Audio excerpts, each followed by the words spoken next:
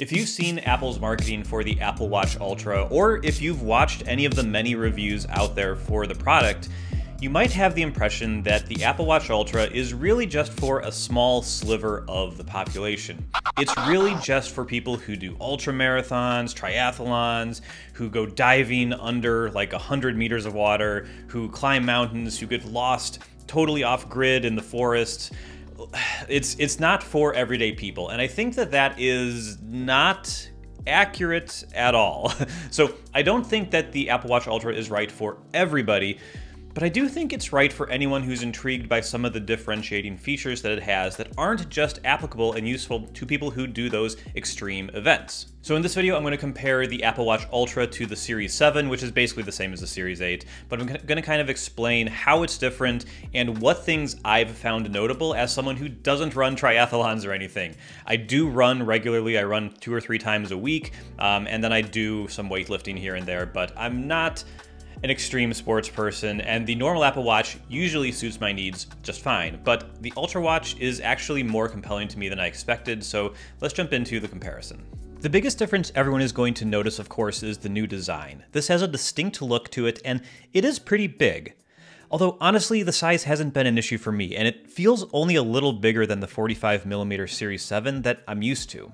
You may have less tolerance for this, but I was expecting this to feel like a massive, awkward thing on my wrist, and instead it just feels like something a little bigger.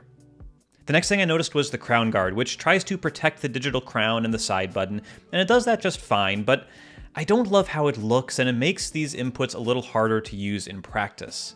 And then the crown seems to have a little more resistance than I'm used to, and it requires a bit more force to turn, although this may loosen up over time. You of course can't miss the orange accent which appears on the crown and the brand new action button, which we'll talk about in a second. Finally, we've got the flat glass screen that's elevated a little bit, and this is actually the part of the design that I like the least, and I much prefer the rounded glass of the standard Apple Watch, but again, this is all a matter of taste. So yeah, in my opinion, the Apple Watch Ultra looks a lot more reasonable on the wrist than I think a lot of people have said it does. It is big, it is definitely large, and if you have smaller wrists, then it might be a little too much for you. But for me, I'm 5 foot 8 and around 180 pounds, and it's been totally fine. It is a bigger watch than I'm used to, but it doesn't feel ridiculous. But the Apple Watch Ultra is more than just a different design. It also has some tangible benefits everyone will benefit from. Number one being battery life. Battery life is twice as good as the normal Apple Watch. Apple advertises 18 hours with the series watches and 36 hours with the Ultra, and that's pretty much in line with my experience. With the Series 7, I get about 24 to 36 hours of battery life. With this, I get 48 to 60 hours. I get easily two days all the time. If I don't use my watch much, it's dropping like 30% over 24 hours, which is just insane as someone who's used the Apple Watch since the beginning. There's also the new action button, which is the first physical input added to the Apple Watch since the beginning, I think. And it is a really nice addition. It's not going to change how you use the watch entirely, but for me, I've been able to remove the workout complication from all of my watch faces because I just start them with a click. It's great. I love having this thing here, and I hope that Apple improves how many things can use it, how many things you can do with it in different contexts. I think third parties can integrate to it, so I think this will only get better in time, but it's a really nice thing to add to the watch experience that gives you a little bit more power and just the ability to automate things a little better. This is something I wasn't expecting, but the speaker is way better too. So if you ever take calls on your Apple Watch, you know the speaker is sufficient, but it's pretty quiet. So if you're in a loud environment, you're really not going to hear it very well at all. And so I did a speaker comparison I'll play in a second here, but needless to say, when you look at the speaker on this thing, it is so big compared to the older Apple Watches or even the Series 8, which just came out as well. It's so much louder, it's really impressive. So just, just listen and you'll see the difference. Apollo partly smiles on us this day. Apollo partly smiles on us this day. Apollo partly smiles on us this day. Lenticular clouds form near mountains and look like flying saucers. The screen also gets brighter in direct sunlight, so indoors it's basically exactly the same in my experience, but when you're outdoors, it really can boost past the limit of the other series watches. So the other models max out at 1000 nits, this one goes to 2000 nits, which sounds like it's double as bright, but it's not quite double as bright. But if you ever have trouble seeing it in the sun, this is going to help you out there. Then there's an exclusive watch face, which I know not everybody's going to care about, but this is an analog watch face with seven or technically eight complication spots, which is really awesome. Uh, so I just have tons of information on this watch face, which really I think just goes along with the style of this watch in general, just more, more, more.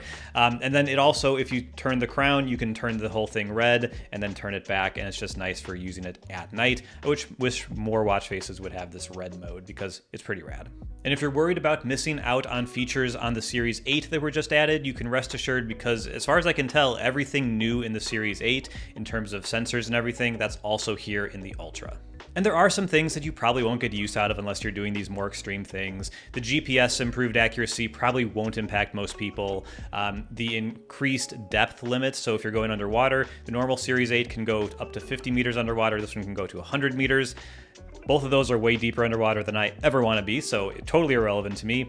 Um, but also, along with water, it can tell you the water temperature, it can tell you how deep you are.